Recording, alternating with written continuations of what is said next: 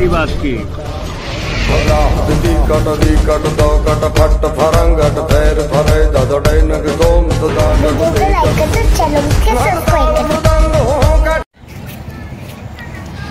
जय श्री राम दोस्तों, आलमबाग प्रॉपर्टी में आपका स्वागत है। दोस्तों, आज हम आपके लिए फिर से एक बहुत ही शानदार लोकेशन पे और बहुत ही खूबसूरत मकान लेकर आए हैं। आप देख रहे हैं, बहुत ही खूबसूरत मकान है, बड़ा मकान है और काफ़ी सस्ता मकान है अफोर्डेबल प्राइस में है, आप जिसको अफोर्ड कर पाएँ। और इसीलिए एक हट के लोकेशन पर ये मकान लाए हैं। सामने जो रोड की समस्या अधिकतर आती है लोगों को 25 फीट की रोड आपको यहाँ पे मिल रही है। और देख सकते हैं आप कितनी घनी बसावट के बीच में ये मकान है। इधर आवास विकास कॉलोनी है। चारों तरफ़ आपको आबादी बसी हुई मिल जाएगी। और मकान भी बड़ा ही अच्छा बना हुआ है। 20 फीट इसका फ्रंट है, पूरब फेस का ये मकान है 50 फीट गहरान है। और एलिवेशन के बारे में बता देते हैं आपको। ऊपर बालकनी में, ऊपर बालकनी दी गई है और थोड़ा सा डिज़ाइन यहाँ पे छज्जे में दे दी गई है। और लाइटों का प्रयोग किया गया है। नीचे में आपको स्टील की रेलिंग मिल जाती है और साथ में रेलिंग भी बनाई गई है। नीचे यहाँ पे ग्राउंड फ्लोर पे एक गेट दिया गया है। लगभग जो है नौ फिट का इसका आपको गेट का एरिया मिल जाता है। ऊपर जो है कवरिंग मिल जाती है। यहाँ पे बाउंड्री पे भी कवरिंग दे दी गई है लोहे की। सेफ्टी का पूरा ध्यान रखा गया है कोई आपके घर के अंदर जा ना पाए। और बाकी ये डिज़ाइन यहाँ पे दे दी गई है। अब आइए चलते हैं मकान के अंदर और वीडियो की शुरुआत करते हैं। जय भोलेनाथ की। चिंता नहीं किसी बात की। दोस्तों ये है आपकी पार्किंग पार्किंग आपको इतनी बड़ी मिल जा रही है कि आपकी आराम से इसमें कोई भी ऐसी होगी, खड़ी हो जाएगी। और ये जो नीचे स्पेस आपको दिख रहा है, ये इन्वर्टर के लिए दोस्तों बनाया गया है। ऊपर आपको पीओपी की डिज़ाइन मिल जाती है और लाइट पिंक कलर का प्रयोग दीवारों पर किया गया है। यहाँ पर आपको लॉन एरिया मिल जाता है और यहीं पर समरसिबल का डायरेक्ट पॉइंट दिया गया है। और एक टैग भी लगा दिया गया है। ये है आपका ड्राइंग और डाइनिंग स्पेस पूरा हॉल आपको यहाँ पे मिल जाता है। ये स्पेस लगभग 25 फुट के आसपास लंबा लंबा है और चौड़ा तो आपका 20 फुट का है ही है। और यहाँ पर आपको एक विंडो बड़ी सी मिलती है। जो कि आपके लॉन एरिया में बनती हैं, जहाँ से रोशनी, हवा सब आपको मिलती रहेगी। बाकी एसी के सारे पॉइंट दे दिए गए हैं और सारी स्पेस ब्रांडेड लगाई गई है। आप चाहें कूलर भी लगा सकते हैं बाहर से। इसलिए इस तरह ये वीडियो बनाई गई है। और स्विच सॉकेट लगाने पूरा ध्यान रखा गया है ये देखिए एमसीबी यहाँ पे लगाई गई है एसी के और ये बेड की या सोफे में बैठे बैठे आप अपना फ़ोन चार्ज कर सकें। इसलिए यहाँ पर चारों तरफ़ स्विच सॉकेट लगा दिए गए दोस्तों, ये है आपका डाइनिंग एरिया काफ़ी बड़ा स्पेस आपको मिल जाता है। आप चाहें तो यहाँ पे एट सीटर डाइनिंग टेबल लगा सकते हैं। उसके बाद में एक स्पेस आपका बचा रहेगा। अगर आप इसको पूरा यूज़ करेंगे ड्राइंग और डाइनिंग एरिया को, ये हॉल एक मिल जाता है आपको कि जहाँ अपने छोटे मोटे प्रोग्राम आराम से निपटा सकते हैं, जैसे कि बर्थडे पार्टी हो गई किट्टी पार्टी हो गई, कथा पूजा हो गई, वो सारे निपटा सकते हैं। फ़िलहाल यहाँ पर धर्म का कोई बाउंडेशन नहीं है। किसी भी धर्म के लोग यहाँ पर रह सकते हैं और ले सकते हैं इस को। दोस्तों, ये है आपका किचन। ये आपका किचन है और ये किचन सिंपल ही रखा गया है। बाकी जो है स्पेस आपको बहुत बड़ा मिल जाता है। आप चाहे तो इसको मॉडर्न किचन में तब्दील कर सकते हैं। दस बाई लगभग छह का स्पेस आपको मिल जाता है। इधर आपको एक कॉमन वॉशरूम मिल जाता है, जो कि वेस्टर्न स्टाइल में बनाया जाता है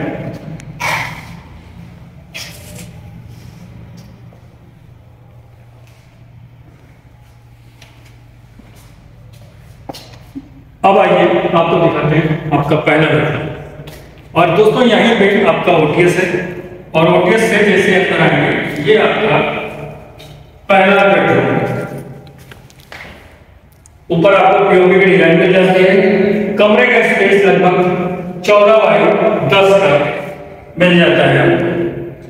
और यहीं पे एक ओटीएस मिल जाता है। ओटीएस के बगल में यहाँ पे तो आप अपनी वॉशिंग मशीन लगा सकते हैं। ये एरिया वॉशिंग मशीन के लिए यूज़ कर सकते हैं। और इधर आपका एक दूसरा वेस्टर्न वॉशरूम है। ये भी वेस्टर्न ही दिया गया है।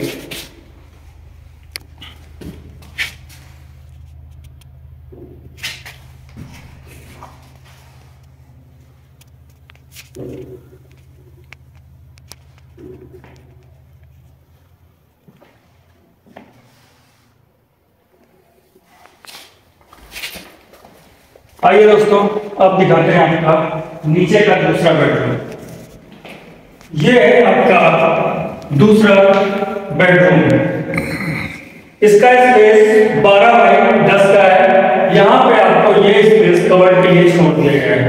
आप इसको कवर बनवा सकते हैं। और ग्रीन कलर प्रयोग किया गया है यहाँ पर दीवार पर। ऊपर की ओपी की डिज़ाइन यहाँ पर मिल जाती है। अब चलिए ऊपर चलते हैं। ऊपर का हिस्सा दिखाते हैं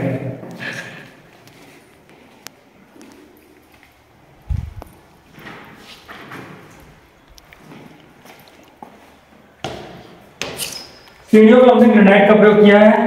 हैंड सपोर्ट भी आपको चीज़ की रही मिल रही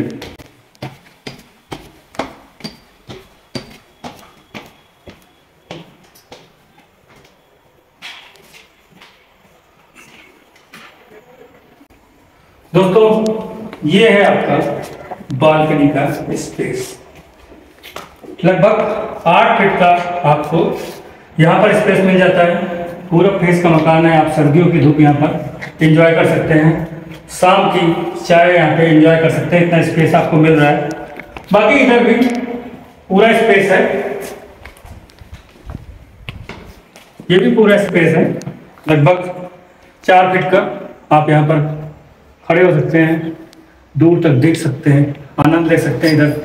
बाग बाग भी है। दोस्तों, ये शुभम सिटी कॉलोनी है। आइए, अब आपको दिखाते हैं आपका तीसरा बेडरूम दोस्तों, ये है आपका तीसरा बेडरूम ऊपर पे फिर से एक बार पीओपी की डिज़ाइन और ब्लू कलर का प्रयोग किया गया है। लाल, लाइट ब्लू कलर और डार्क ब्लू कलर। हाईलाइट के लिए डार्क ब्लू कलर का प्रयोग किया गया है। आइए, अब चलते हैं ओपन हैं।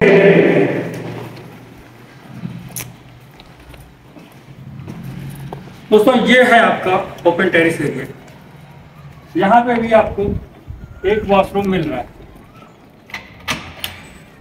और ये वॉशरूम इंडियन स्टाइल में बना दिया गया है।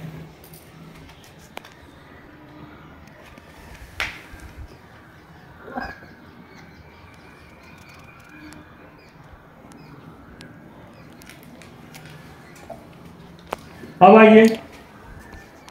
एक बार इधर दिखा दीजिए, चारों तरफ़ घुमा दीजिए कैमरा सामने एलडीए की बिल्डिंगें दिख रही हैं, वो उन्नीस मंजिला।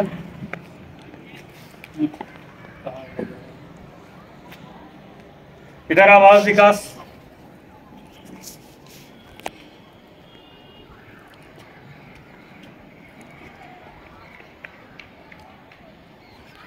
मतलब चारों तरफ़ आबादी है, लोग रह रहे हैं।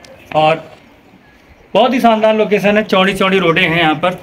अब आइए इस लोकेशन के बारे में और विस्तृत रूप से आपको बता देते हैं। तो दोस्तों, ये location Krishna Nagar metro station से लगभग साढ़े तीन किलोमीटर की दूरी पर शुभम सिटी कॉलोनी में ये मकान बना हुआ है। और अगर चार बाग से दूरी देखी जाएगी तो लगभग छः किलोमीटर हो जाएगी। और चार बाग से लगभग ये नौ किलोमीटर के आसपास होगा और आलमबाग बस स्टैंड से ये लगभग छः किलोमीटर के आसपास होगा। एयरपोर्ट आपका यहाँ से पाँच किलोमीटर है। नज़दीकी मेट्रो स्टेशन आपका कृष्णा नगर ही है और मार्केट आपकी मेन मार्केट तो कृष्णा नगर ही होगी। बाकी आसपास में भी सारी मार्केट है, जो भी आपके रोज़मर्रा के जीवन से जुड़ी हुई चीज़ें हैं, वो सब आपको अगल बगल ही मिल जाएँगी यहाँ पर।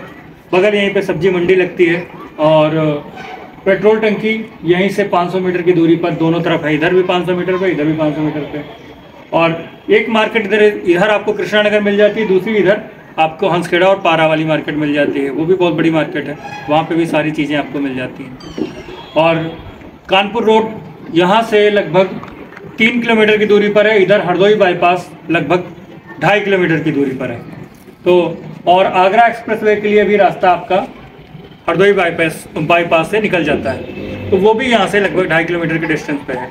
और इधर जो है, आपका टी एस मिश्रा हॉस्पिटल है पीछे। जयपुरिया स्कूल यहीं पे है। और इधर भी जयपुरिया स्कूल है। 500 मीटर यहाँ पे होगा जयपुरिया स्कूल और इधर लगभग एक किलोमीटर की दूरी पर है। सी स्कूल आपका कृष्णा नगर में है। और बाकी और भी जो जाने माने स्कूल हैं, सब आपको कृष्णा नगर में मिल जाएँगे, मेन रोड, कानपुर रोड के आसपास सब मिल जाएँगे। और जो भी आपको आवासीय सुविधाएँ, आवास के आसपास आपको जो सुविधाएँ चाहिए, वो सब सुविधाएँ आपको, ये मान के चलिए कि दो से ढाई किलोमीटर के अंदर अंदर सारी सुविधाएँ इस मकान के आसपास आपको मिल जाएँगी। ज़्यादा दूर आपको कहीं जाने की ज़रूरत नहीं पड़ेगी। और आपकी, अगर आप सेंटर से दूरी देखेंगे, हजरतगंज से तो इसकी दूरी लगभग 10 किलोमीटर के आसपास होगी। और तो ये था और मिलिट्री कैंट के लिए बता देते हैं, क्योंकि बहुत फ़ोन आते हैं जो मिलिट्री कैंट से दूरी पूछते हैं। तो ये मान के चलिए कि यहाँ से मिलिट्री कैंट की दूरी लगभग 10 किलोमीटर होगी दोस्तों। तो ये थी इस लोकेशन से संबंधित बातें। अब आपको हम बता देते हैं इसका प्राइस और कितना इस पर आपको फाइनेंस हो जाएगा। प्राइस की बात की जाए तो जैसा कि मैंने पहले शुरुआत में ही बता दिया था कि बहुत ही रिजनेबल प्राइस पे ये मकान है और इतना बड़ा मकान आपको बहुत कम प्राइस में आसपास के एरिया में आप तुलना करेंगे तो सबसे सस्ता मकान होगा ये। इसकी प्राइस मात्र तैंतालीस लाख रुपए रखी गई है। और इसमें भी हम आपको थोड़ी बहुत छूट देने का प्रयास करेंगे। ज़्यादा उम्मीद मत करिएगा, थोड़ा बहुत ही हो पाएगा। और बाकी इस पर हम आपको 80 परसेंट तक लोन करा देंगे अगर आप लोन के लिए एलिजिबल हैं तो। बाकी यहाँ पर LIC और सारे ही प्राइवेट बैंक सब लोन कर देते हैं। आप चाहे खुद करवा लें या हमारी सेवा लेना चाहें तो हम भी करवा देंगे। तो ये था इस मकान से संबंधित इस संपूर्ण ब्यौरा, जो कि हमने आपको बता दिया, दिखा दिया। अब आप हमारे दिए हुए नंबर पर संपर्क करें और तुरंत ही विज़िट करें, क्योंकि इतना सस्ता मकान इस चार पाँच किलोमीटर के एरिया में कोई नहीं है। तुरंत आपको एक ही मकान बना हुआ है, इंडिपेंडेंट मकान है। चारों तो कोई दीवार वाल नहीं जुड़ी हुई है, रो हाउस नहीं है ये। पूरा फेस का मकान है बीस बाई पचास में बना हुआ है थ्री बी के बना हुआ है। तो चलते हैं दोस्तों फिर मुलाकात होगी नए वीडियो में। जय भोलेनाथ की चिंता, चिंता नहीं किसी बात की।